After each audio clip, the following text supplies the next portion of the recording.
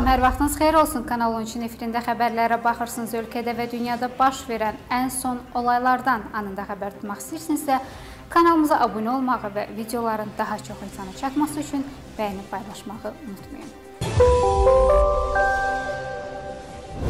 Şərur rayon polis idarəsinin əməkdaşları yanvarın 27-sində Vasif Talıbovun Aralıq kəndindəki evinə basqın ediblər. Hadisə barədə məlumatı gündəlik Naxçıvana kənd sakinləri veriblər. Onlar deyiblər ki, Vasif Talıbov istefa verdikdən sonra ailəsi ilə birlikdə Aralıq kəndindəki evinə köçərək orada yaşayıb. Vasif Talıbovun evinə basqın edərək axtarış aparan polislər onun evindən silah aşkarlayıblar. Evini qoruyan şəxsi mühafizəçiləri isə saxlayıblar. Saxlanılanlardan biri Rövşən Talıbov Vasif Talıbovun əmisi nəvəsidir. Saxlanılan digər mühafizəçi Həsənqulu Novruzov rayonunun Siyaqut kəndindəndir. Kənd sakinləri bildirir ki, polis Talıbovların yaşadığı evə qəfil basqın ediblər. Sakinlərdən biri deyib ki, kəndin giriş çıxışı bir neçə saatlıq bağlanıb, xeyli sayda polis əməkdaşı həyətə basqın edib. Mühafizəçilərə göz açmağa imkan verməyiblər. Evə basqın edərkən Vasif Talıbov evdə olub. Polislər evdə silah axtarırlarmış. Deyilənlərə görə xeyli sayda müxtəlif kalibrli Winchester silahları çıxıb. Naxçıvan Muxtar Respublikasının Daxili İşlər Nazirliyi Rövşən Talbov və Həsənqulu Novruzovda qanunsuz silah aşkarladıqlarını təsdiq etsələr də əlavə məlumat verməyiblər.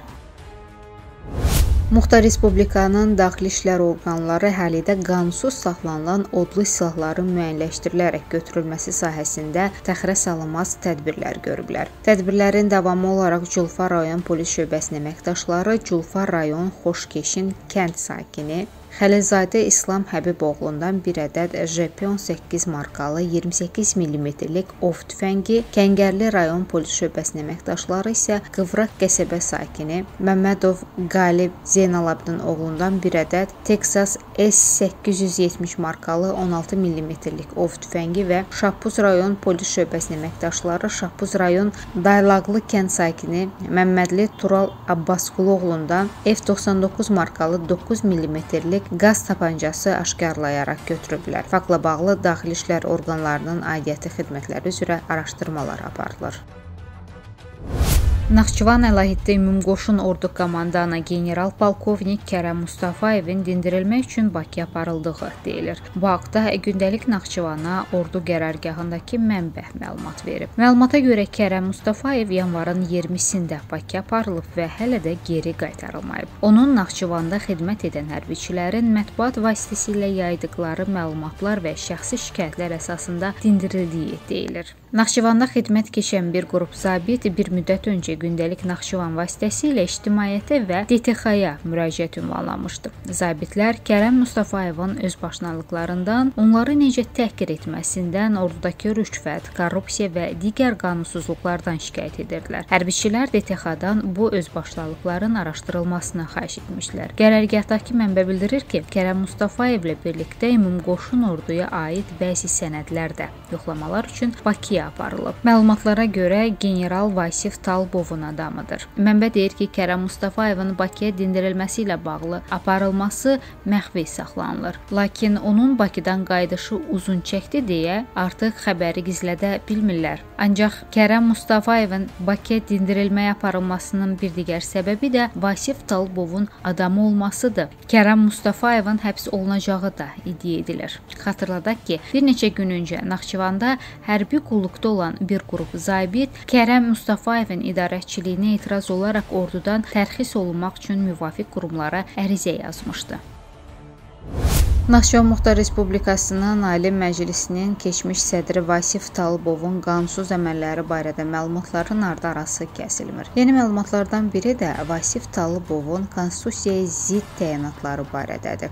Belə ki, müsavatın verdiyi məlumata görə Vasif Talıbov yaxın adamlarını hakim təyin edərkən konstitusiyanın tələblərinə əməl etməyib. Məhkəmələr və hakimlər haqqında qanunun 93-cü maddəsinə görə Azərbaycan Respublikası Konstitusiyasının 126-cı maddəsinin 1-ci hissəsinə uyğun olaraq yaşı 30-dan aşağı olmayan seçkilərdə iştirak etmək hüququna malik olan ali hüquq təhsilli, hüquqşünas ixtisası üzrə 5 ildən artıq işləyən Azərbaycan Respublikası vətəndaşları hakim ola bilərlər. Talıbovun təyin etdikləri hakimlərin iş təcrübəsi isə 5 il deyil, 3 il hesablanıb. Həmin hakimlər isə aşağıdakılardır. Muxtar Respublikanın Hərbi Məhkəməsinin sədri Həsənov Polad Vəlioğlu Naxçıvan Dövlət Universitetinin Hüquq fakültəsini 2005-ci ildə bitirib 3 il sonra Culfa rayon məhkəməsinə hakim təyin edilib. Naxçıvan şəhər məhkəməsinin sədri Məmmədov Qabil Nemətoğlu Naxçıvan Dövlət Universitetinin Hüquq fakültəsini 2000-ci ildə bitirib 2003-cü ildə Şərur rayon məhkəməsinin hakimi təyin olunub. Culfa rayon məhkəməsinin sədri Məmmədov Mehrab Parmayeloğlu 2010-cu ildə Hüquq fakültəsini bitirib bitirib 2013-cü ildə hakim təyin oldu. Sənim Vasif Talıbov konstitusiyanın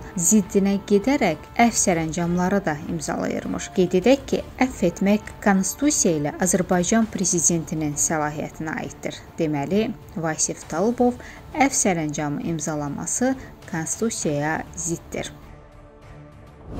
Naxçıvan Bank Açıq Səhmdar Cəmiyyətinin 2022-ci ilin maliyyə göstəriciləri açıqlanıb. Bankdan verilən məlumata görə, bank 2022-ci ildə 13 milyon 54 min manat xalis mənfəət əldə edib və bu 2021-ci illə müqayisədə 2,1 dəfə çoxdur. Məlumatda deyilir ki, hesabatın açıqlandığı maliyyə ilində, yəni 2022-ci ildə Naxçıvan Bank Açıq Səhmdar Cəmiyyətinin Müşahidə Şurasının 3 üzvündən biri, Naxçıvan Muxtar Respublikasının Respublikasının Ali Məclisinin bu yaxınlarda istefa verən sədri Vasif Talıbovun qızı Bahar xanım Talıbova olub. Bahar xanım Talıbova bu ilin əvvəlində tutduğu vəzifədən azad olunub. Xatırladaq ki, Naxçıvan Bank Açıq Səhmdar Cəmiyyəti uzun illərdir bank səhmdarlarının kim olduğunu ictimaiyyətdən gizlədib. Mərkəzi Bankın qəbul etdiyi Azərbaycan Respublikasının bank sistemində maliyyə hesabatlarının tərtib və təqdim olunması qaydalarına uyğun olaraq ölkədə fəaliyyət göstərən banklar hər il maliyyə hesabatı təqdim edirlər. Lakin Naxçıvan Bank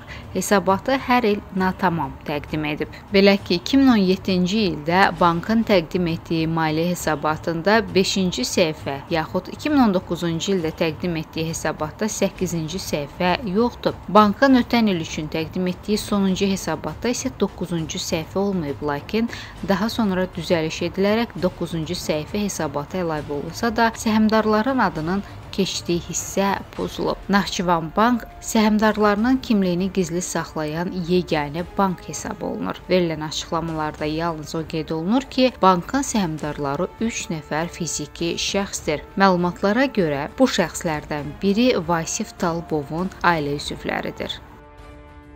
Beynəlxalq Korrupsiya və Mütəşəkkil Cinayətkarlığın araşdırılması üzrə jurnalistika layihəsinin araşdırmasına görə Talıbovların əksər holdinqləri Gürcüstanda otellərə və digər mülklərə sahib olan Türkiyəli iş adamı Emin Ucarın rəhbərlik etdiyi şirkətlər qrupu, həmçinin Türkiyədə tikinti materialları istehsal edən şirkətlər tərəfindən maskalanıb. Üzə çıxan sənədlərə görə Ucar qonşu Gürcüstanda Vasif Talıbovun maraqlarından çıxış edib. O Naxçıvanın sabiq rəhbərinin oğlu Rıza Talıbovun adından Gürcüstanda mülklər alıb və onlarla birgə şirkətlərə sahib olublar. Gürcüstanın paytaxtı Tbilistəki opera teatrının qarşı tərəfində yaxşı yemək insan hüququdur şüarı ilə yüksək səviyyəli Dina Hall restoranı da bu mülklərə daxildir. Həmçinin yaxınlıqda fransız qonaqpərvərlik nəhəngi Accor ilə birgə 5 ulduzlu otel tikilir. Araşdırmada qeyd olunur ki, otel və yeməkxana Kiçik Qafqaz ölkəsindəki 270 milyon dollarlıq biznes imperiyasının bir hissəsidir, ən azı kağız üzərində. Bütün bunların hamısı Emir Ucar adlı türk vətəndaşı tərəfindən idarə olunur. Beynəlxalq korrupsiya və mütəşəkkil cinayətkarlığın araşdırması üzrə beynəlxalq layihə Ucarın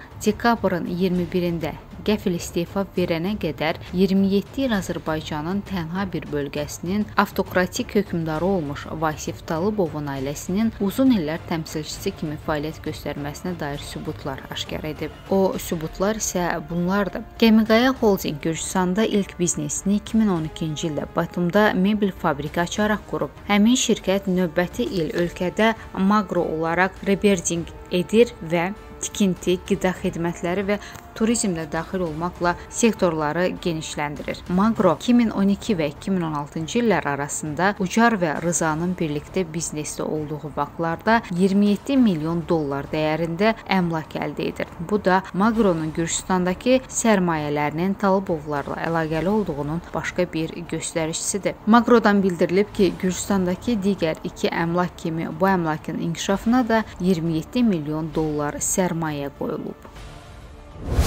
Və sonda yanvarın 29-na gözlənilən hava haqqında məlumatı diqqətinizə çatdırırıq. Milli Hidrometeorologiya Xidmətindən verilən məlumata görə sabah Bakıda və Abşeron yarımadasında hava şəraiti dəyişkən buludlu olacaq. Əsasən yağmursuz keçəcək. Havanın temperaturu Bakıda və yarımadada gecə 3-5, gündüz 6-8 dərəcə isti olacaq. Atmosfer təzyiqi 763 mm civə sütunu təşkil edəcək. Nisbi rütubət 60-70% olacaq. Azərbaycanın rayonlarında isə sabah əsasən hava yağmurlu olacaq. Qar yağacağı gözlənilir. Havanın temperaturu gecə 3 dərəcə şaxtadan 2 dərəcəyədək isti, gündüz 7-10 dərəcə isti olacaq. Dağlarda gecə 10-15, gündüz 0-5 dərəcə şaxta olacaq.